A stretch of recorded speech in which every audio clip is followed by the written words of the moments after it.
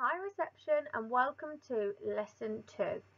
Now, yesterday, what country did we learn about? China! Well done! So, can you tell me any key facts about China? Have a think for me.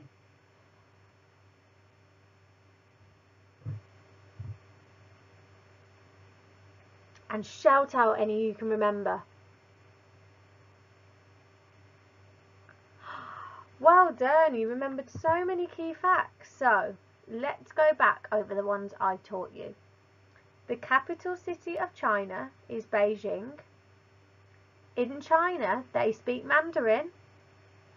Dumplings, spring rolls and chow mein are traditional foods in China.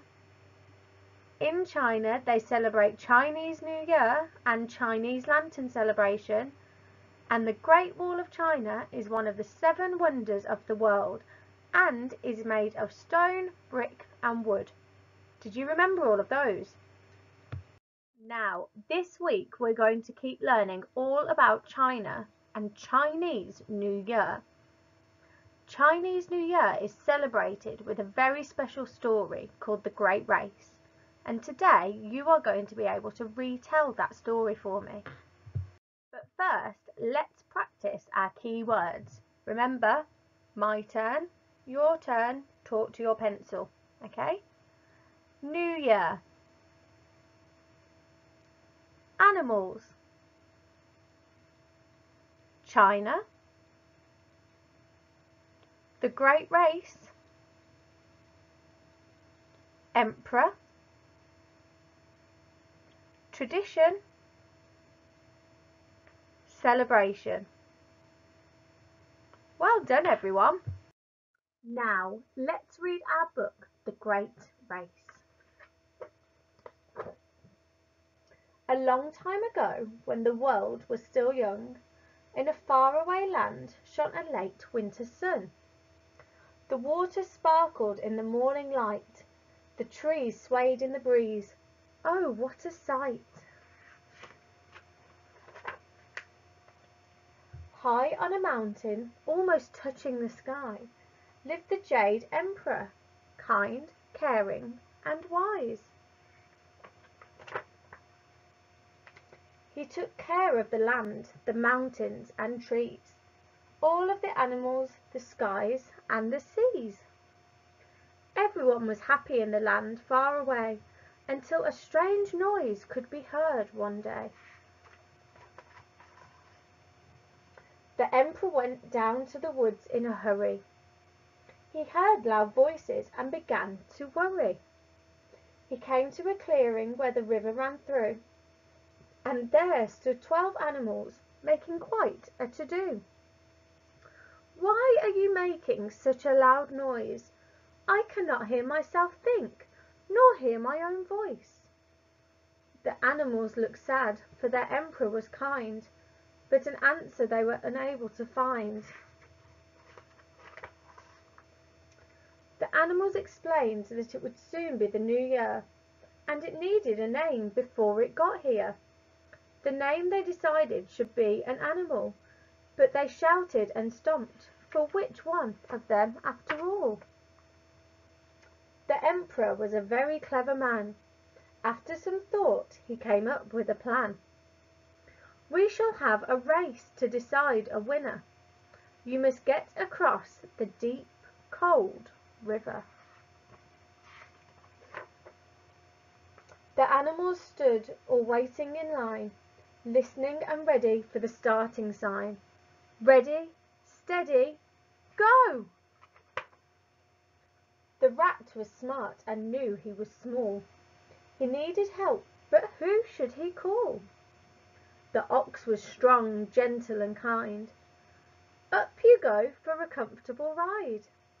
The ox swam across to the other side when the rat jumped off and crossed the finish line. Therefore the rat was number one and the ox number two. Along came the tiger. He had finished swimming too.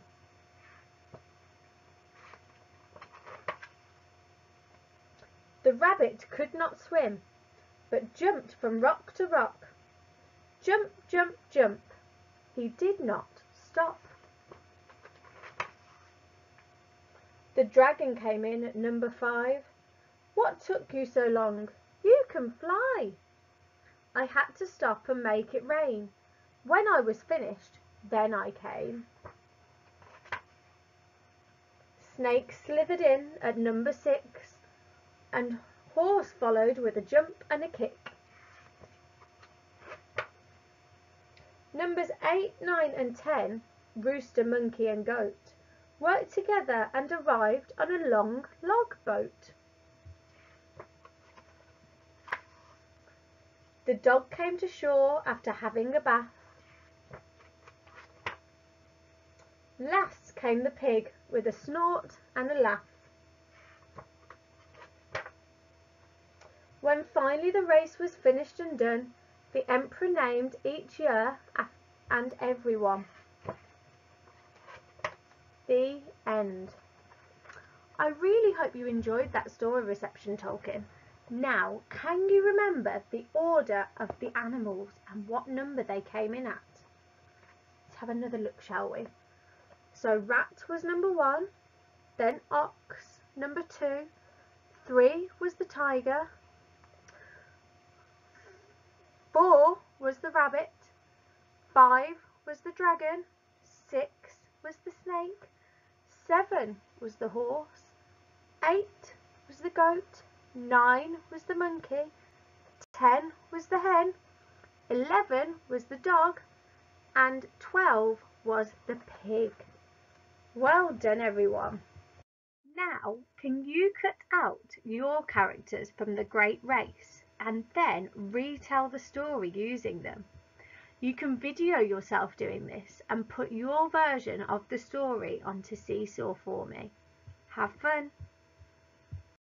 Now, today's fun activity is an experiment with rain.